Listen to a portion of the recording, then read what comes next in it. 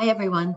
This is the second lecture for chapter one. So today we're going to learn how to read and brief a court case.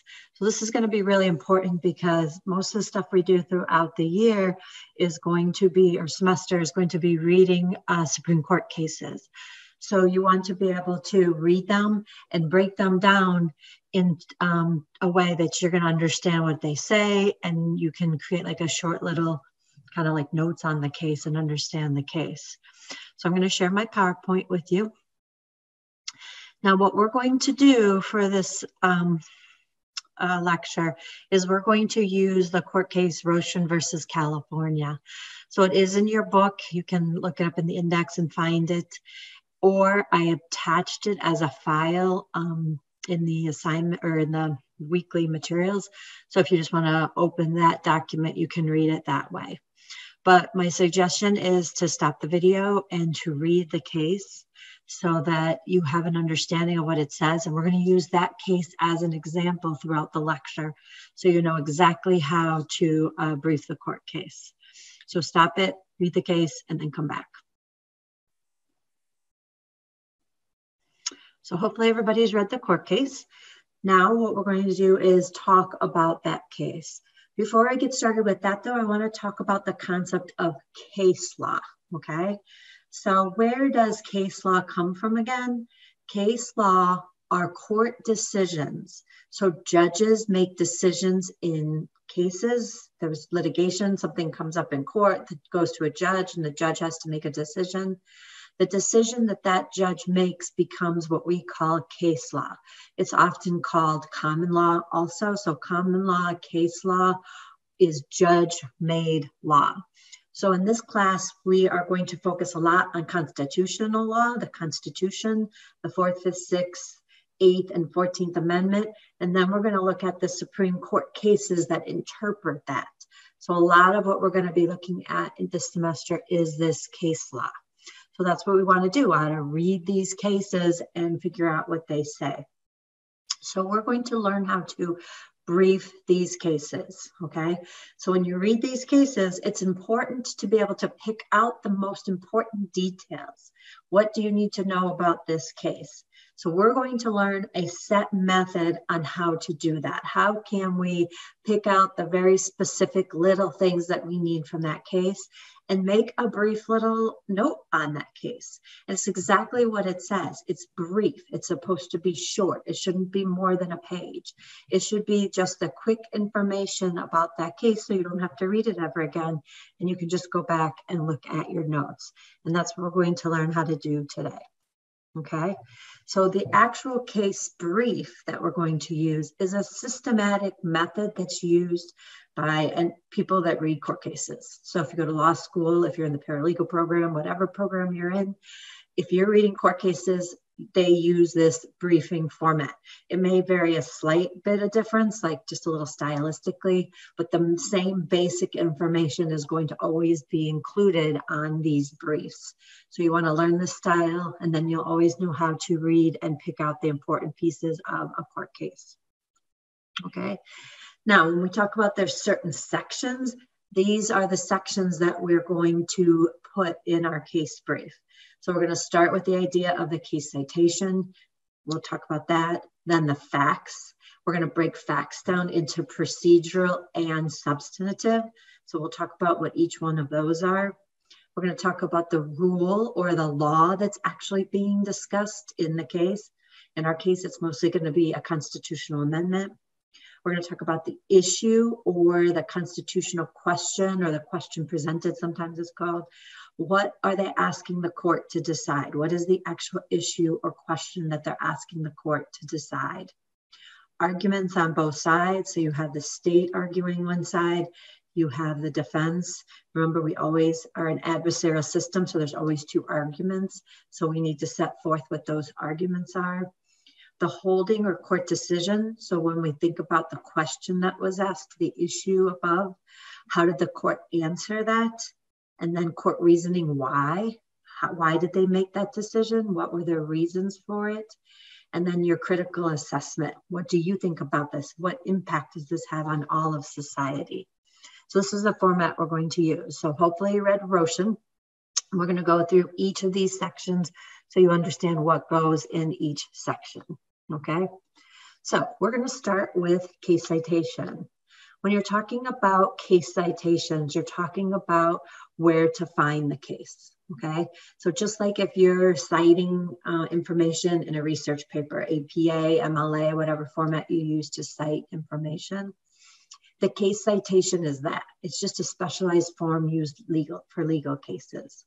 So where do we want to find this case? What is the information is going to tell us where to go if we go to the library, where can we find this case?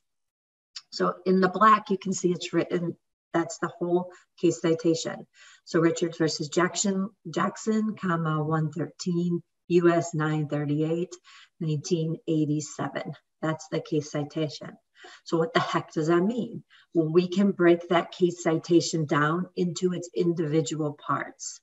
So whenever you have a court case, it has a name. So names of the parties that are involved in that court case. So if it's criminal, it's usually going to be a state or the federal government against a person. If it's civil, it's just two people's names.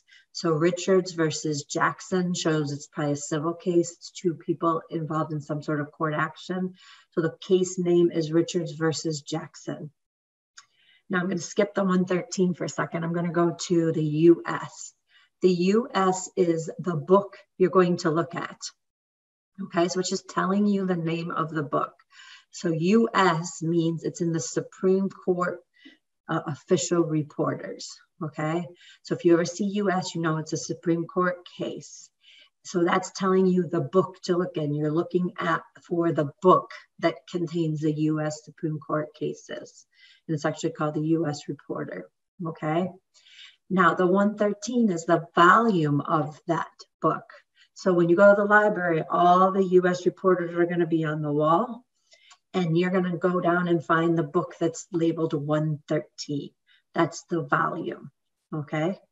Once you take that book off the shelf and you open it, you're going to open it to page 938, and that's where the case will be. And then the year is just telling you the year that the courts decided that case. So once you break it down into its parts, it's not so complicated just telling you how to go to the library and locate this. Now, for our sake, I'm going to mostly give you your citations. You can Google them nowadays, but it's just important to know what the pieces of that citation are. Now, remember we said that the US was the book. So this is just telling you what the books are, so you'll have an understanding. So if you ever see in the book part, US or sub court, you know immediately by looking at that citation that it's a Supreme Court decision. Now, why are there two? Because one is the official one that comes straight from the Supreme Court. These are the opinions as written, just like the Supreme Court justices wrote. So, US is the official governmental reporter. But sometimes companies want to create their own books and they take the decisions and they add notes and references and helpful information for the reader. Those would be S court. So it's the same decisions, but they'll have extra helpful information that go along with the decision. So if you see US, you know it's the official reporter. If you see S court, you know that that's the unofficial, but they both have the same decision and they're both Supreme Court. Now, the next level down court is the Court of Appeals, the appellate circuit, the Court of Appeals.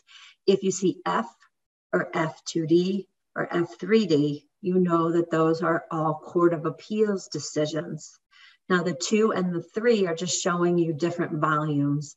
So they ran out of Fs, so then they started over again at one and labeled it F2. Okay, so it's another series of books. So if you see F, you know they're really old cases. If they're F3s, then you know they're more modern cases. F sup means a court decision that comes from the district court, so the lowest federal courts. So if it says F sup, you know it's the lowest court in the federal system. Now, New York has its own reporters for it, so that's all the federals. We have the state side. If it's the highest court in New York, it's going to be NY or NY2D. So the New York Court of Appeals is the highest court in the New York State system. Its decisions are all going to go in those books. They don't have an uh, unofficial one, they just have the official one. Then you have the appellate, the middle court levels in New York State is the appellate division. So that's AD or AD2. And then if it's the lower trial courts in New York State, it's the Supreme Court is the lowest court in the New York State. Those are going to be miss miscellaneous, miss or miss two. Okay. So when you look at a citation and you see that book, you immediately know what court decided that case. We are going to use a US and the S court citations the most. Those are the court cases we're mostly going to use in this class. Okay. So just to test your knowledge, if you were looking at these citations, where would you find these cases? Okay, so if I asked you for the first one, what's the name of that case? So you're looking at the citation, what's the name of it? The name of the first one would have been Rodriguez versus Roche. Okay, so this is the name. And the second one, if I ask you what court it comes from, you look at the book and it's S court, so you know it's Supreme Court. Now, if I wanted to know what volume of the Supreme Court reporter, then I look at the 93. That's our volume. Okay. So the next one, what is the page that that's found on? It's found on page 201. Okay. So 201 would be our page. Now, if we look at the book, we see F2D. Now, going back to our previous chart, we know F2D is a court of appeals. So we know it's a court of appeals decision. Now remember, the court of appeals has many circuits around the country. So it will also tell you which circuit it is, so second circuit. This one, what year did the judges decide it? 2007. And then this one, what is the court? So again, we see Miss Second we immediately know, looking at our chart, that that is the lowest court in New York. So it's a New York decision and it's the lowest court, it's miscellaneous. Okay, and since it's the Supreme Court, we have one Supreme Court in New York in every single county. So it will also tell you which county it's from. So this one was from Erie County. So hopefully uh, you understand that. There is a practice assessment online. If you're confused with this at all, you can get on and you can take the practice assessment as many times as you want to make sure you understand how citations work. Okay, now if you were looking at the Rochin case, look at the case and see if you can write out its citation.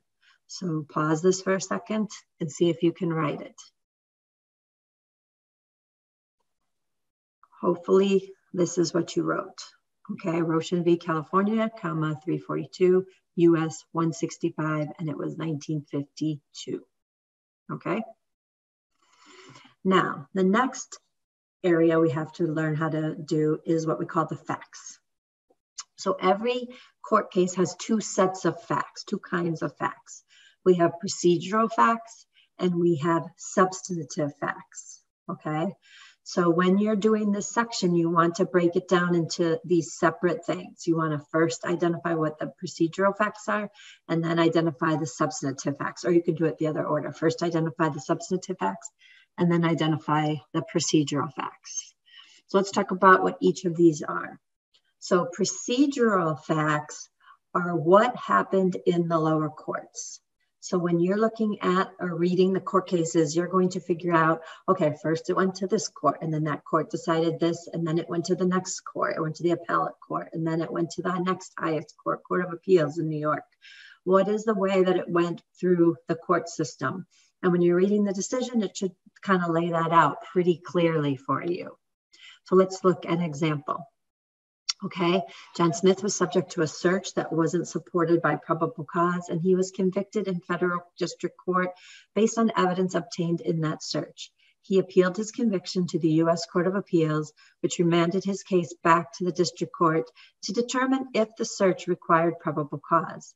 The district court decided the search did not require probable cause.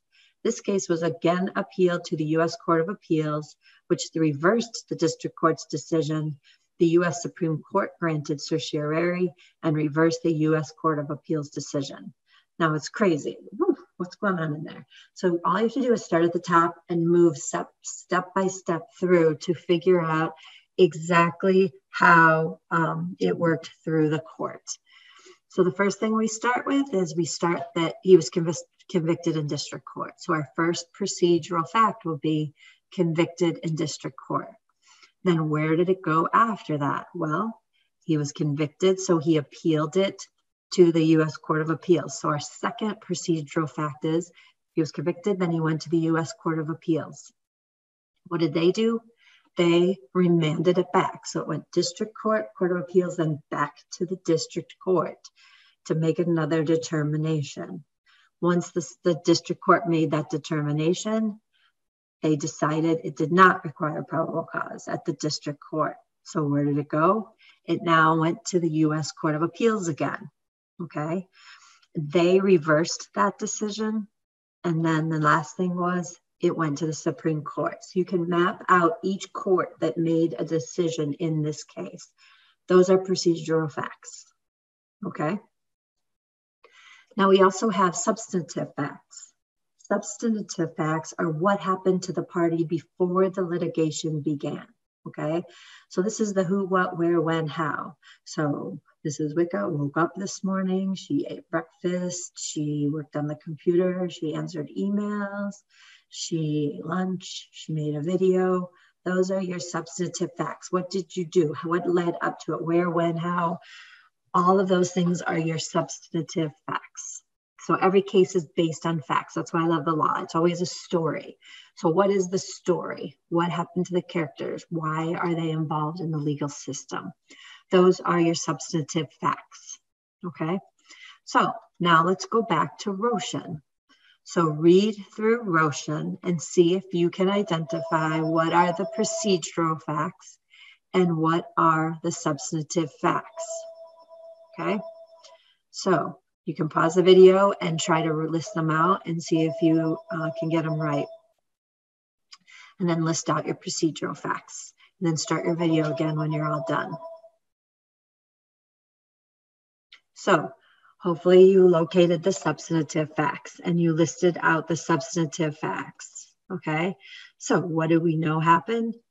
Uh, deputies arrived and they thought that Rochin is selling narcotics.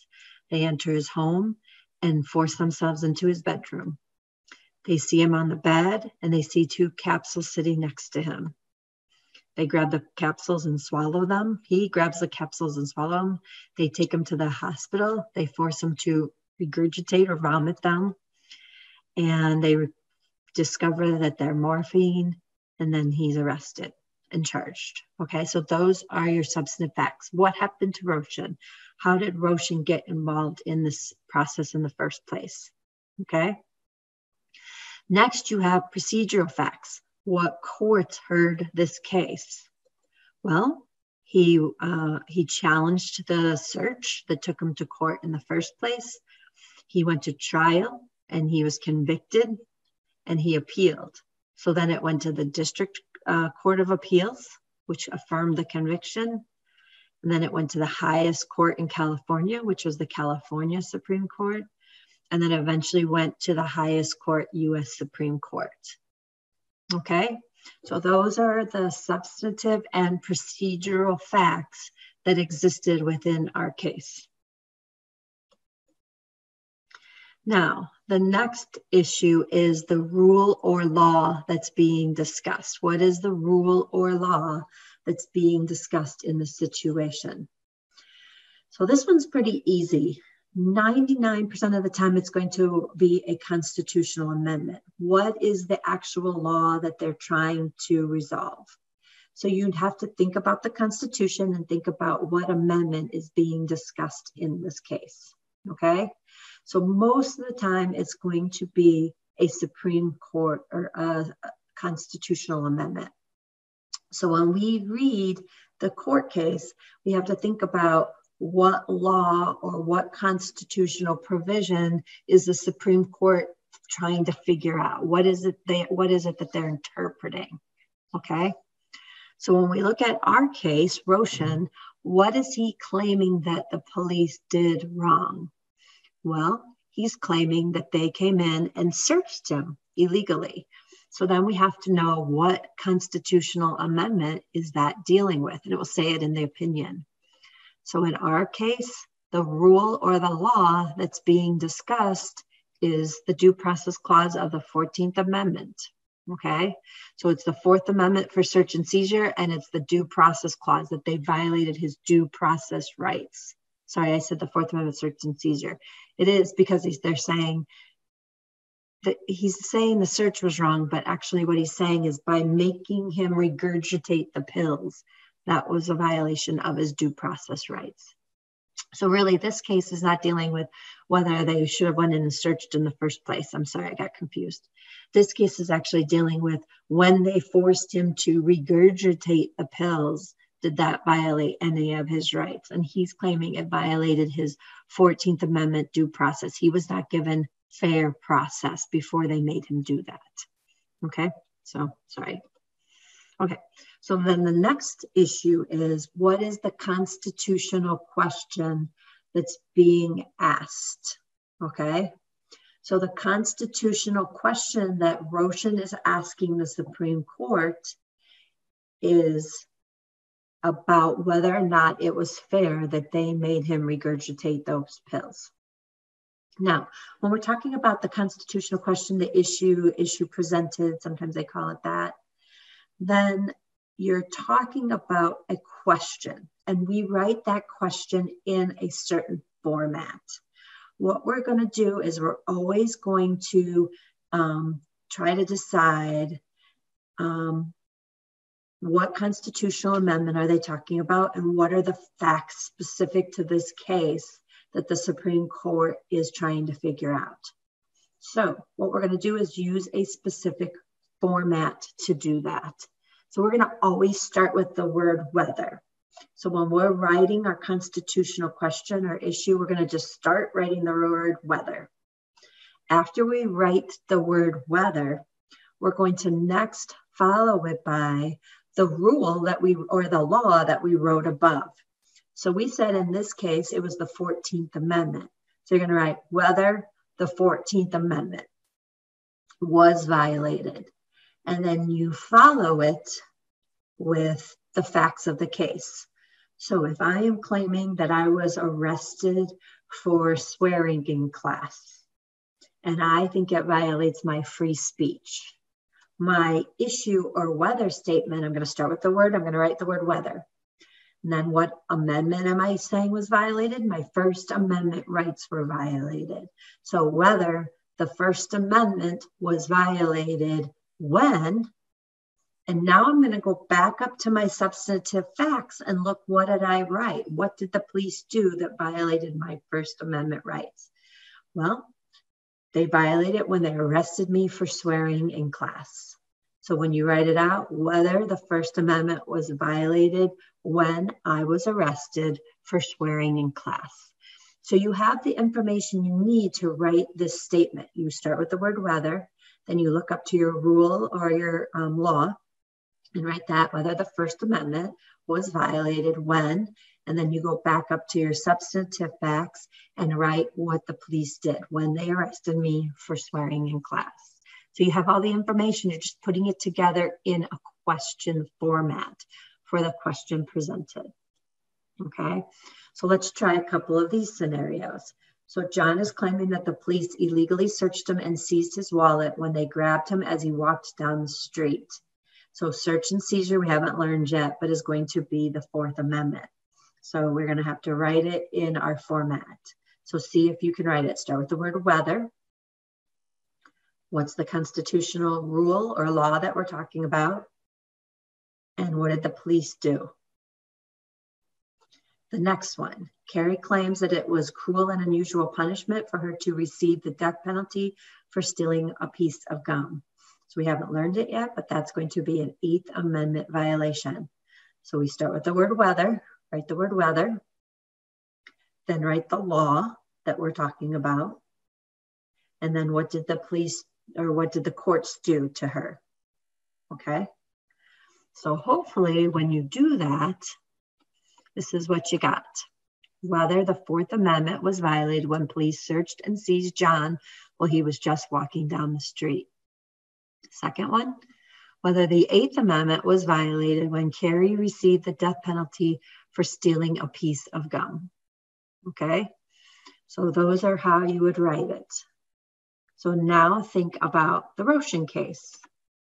How would we write that? So whether, then go back to what we wrote for the rule or law. 14th Amendment, due process clause, was violated when, and then go back to your substantive facts. What did the police do? When they arrest, they made him regurgitate his pills.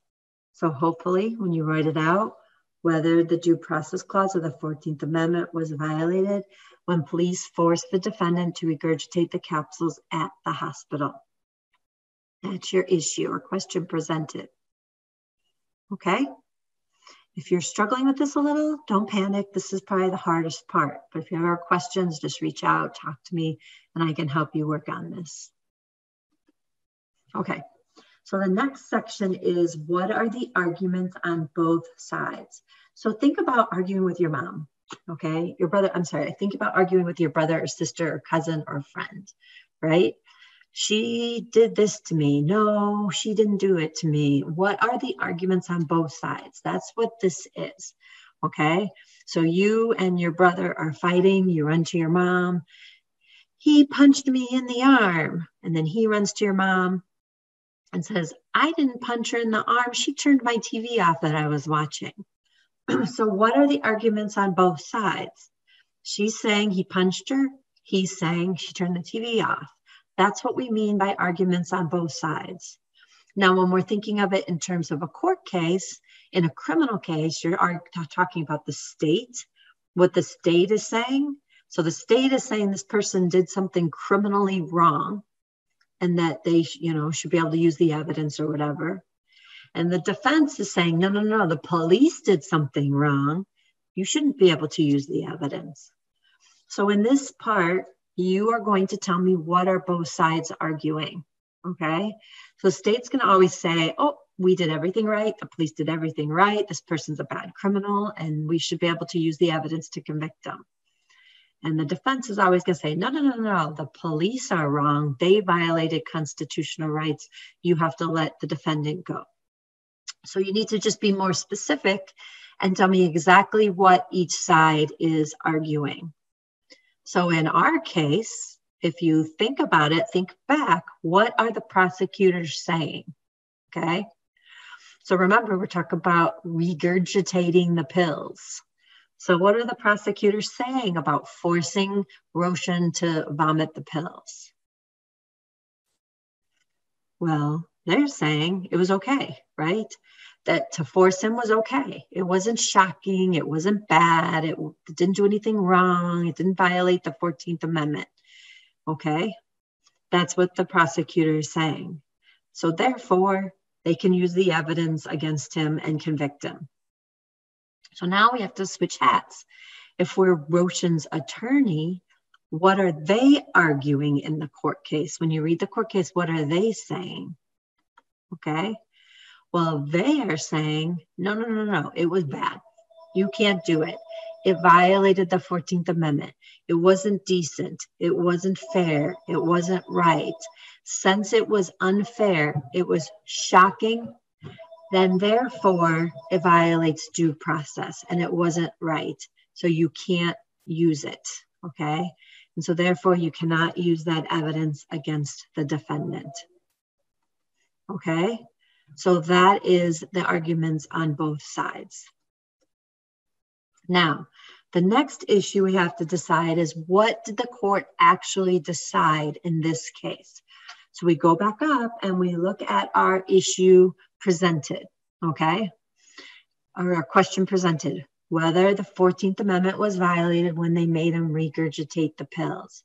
So for the holding or court decision, how did the court answer that question? So for this, all it is is a quick answer. It's not long. You're not giving me the explanations yet. You're just quickly telling me how the court answered that question. So, whether the 14th Amendment was violated when the defendant was forced to regurgitate the pills, how did the court answer that question in this case? Was it a violation of the 14th Amendment or wasn't it a violation of the 14th Amendment? Okay, so it's pretty easy. You just reverse the question presented in an answer. So, what our previous issues, we said whether the Fourth Amendment was violated when police searched and seized John while he was walking down the street, or whether the Eighth Amendment was violated when Carrie received the death penalty for stealing a piece of gum. Okay, so let's take our first one. We read the court case, and the police say, yes, the police did violate his rights. So, how do we write this? We just turn it down round into an affirmative statement. So instead of being a question, we write the answer. The second one, what did the court say about the death penalty for stealing gum? Yes, that does violate the Eighth Amendment. So now we just have to write it as a statement, a conclusion. So think about how you could write those as conclusions. You can just take the words and reword it. So it's not a question anymore, it's an answer. So try to do that for a second.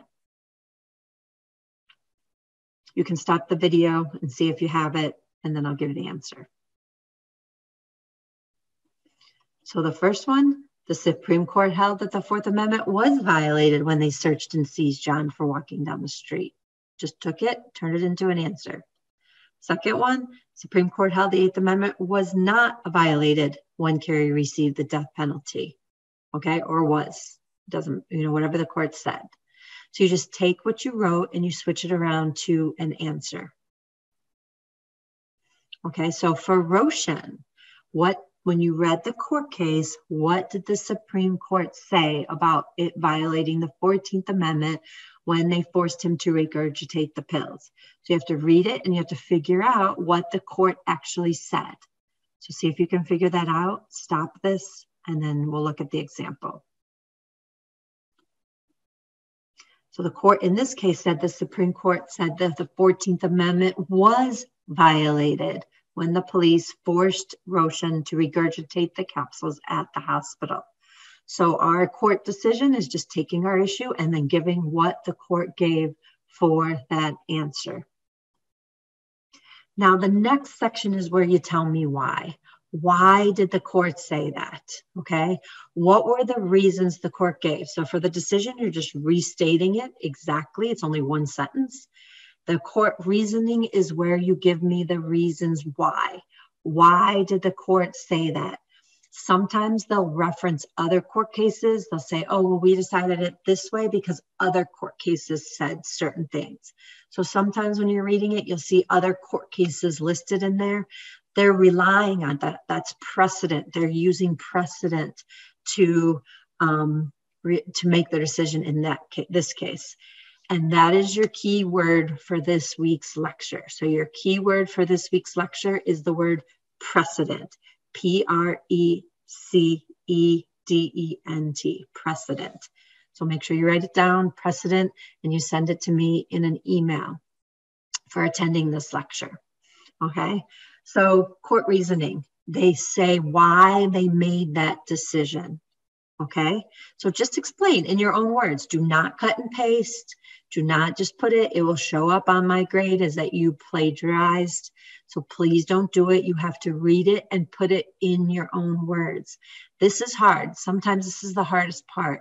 If you're confused on the court's reasoning, contact me, ask me. You and I can talk. We'll work it out, we'll rationalize it together. But tell me in your own words why the court reached that decision. Okay? In our example, when you read Rochin, why did the court say it violated his 14th Amendment? So try to figure that out. Now, what I said it was their reasoning was the court said that when they looked at due process, they have to con- consider law and society. What does the society view as acceptable for police behavior? Is it acceptable to force a person to regurgitate or vomit?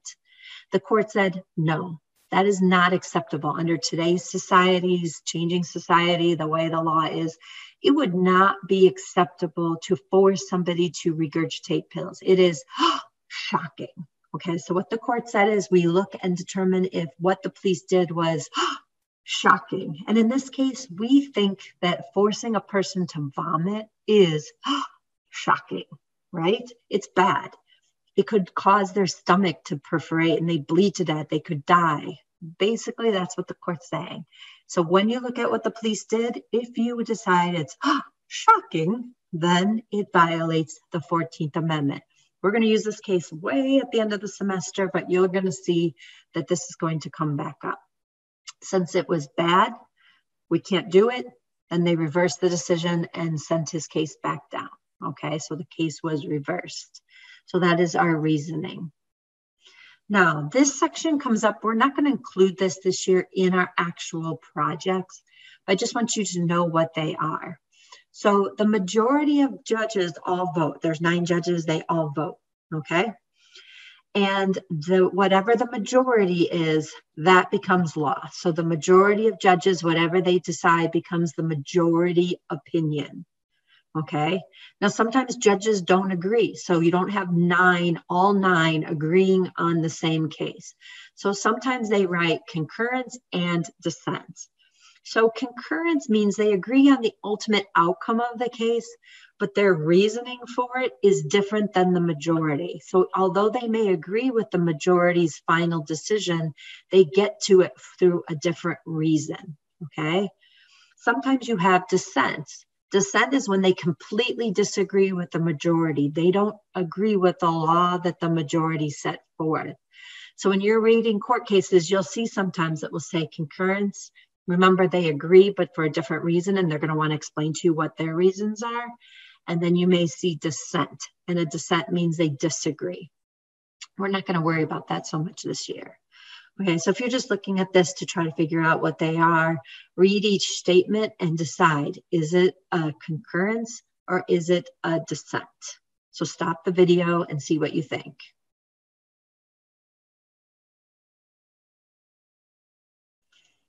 So the first one, Judge Smith disagreed with the majority of the court, stating he did not believe that the First Amendment was protected, uh, protected screaming fire in an airport.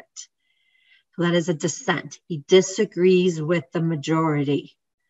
The second one, Judge Judy agrees with the majority of the court that the people can scream fire in airport, but does not believe the First Amendment protects this. It's the 14th Amendment. So this is a concurrence, agrees with the ultimate outcome before a different amendment. Okay. The last section you're going to include is what we call the critical assessment or the assessment or critical analysis. This isn't going to include two parts. You need to think about your court case and think about what impact, how is this case going to affect the entire criminal justice system? Okay. So this is big picture. When you read this court case, what effect does this case have on the whole system? And then the last part is what do you think about it? How do you think about this case? Do you like it? Do you disagree? You don't always have to agree with what judges say. You can formulate your own opinion. And I want to know what that opinion is.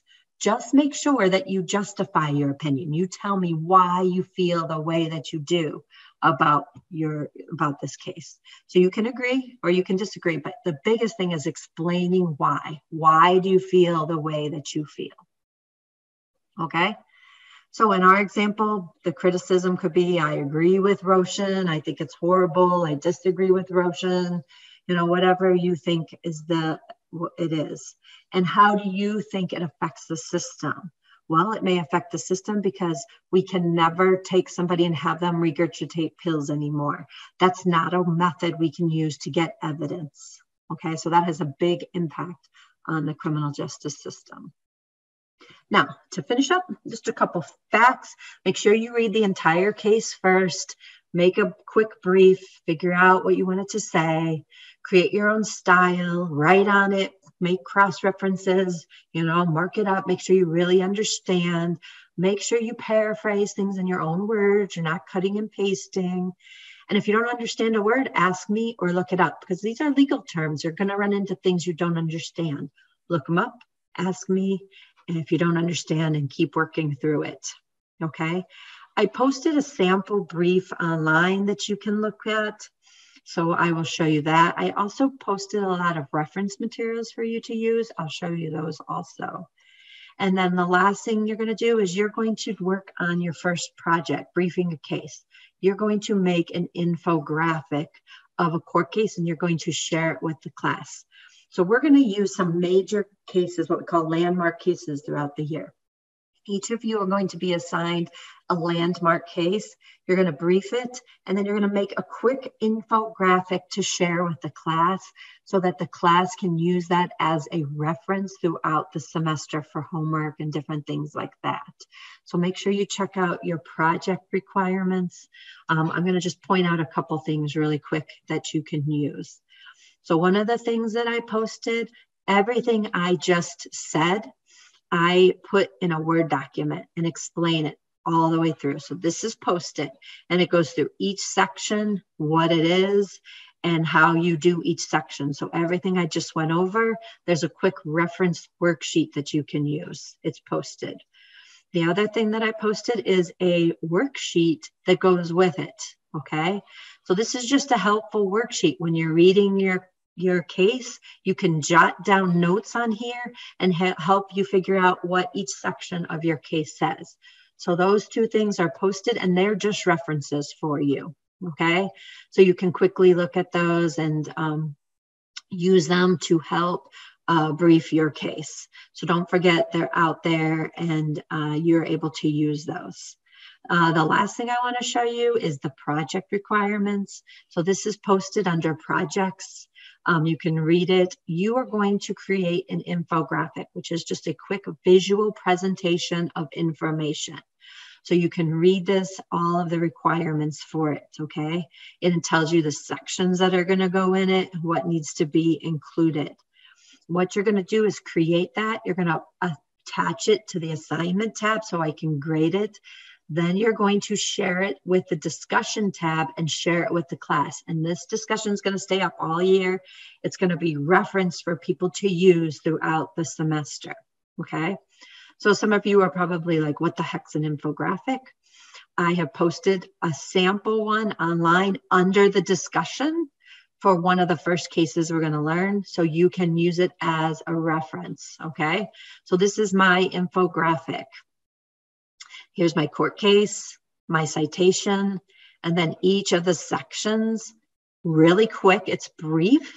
So just a couple sentences explaining each section.